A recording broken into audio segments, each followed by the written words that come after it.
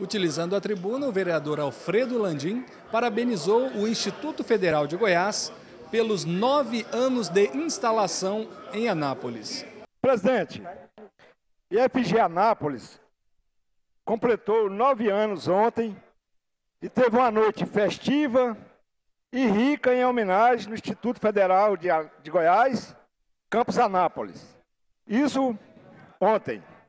Mas eu quero cumprimentar aqui dessa tribuna, parabenizar o corpo docente do Campus Anápolis, professores, diretores, coordenadores, em especial a professora Elza Gabriela, a diretora atual, diretora-geral do IFG, e também parabenizar a nossa vereadora e professora Jali, que ontem fez essa, uma sessão solene lá no IFG.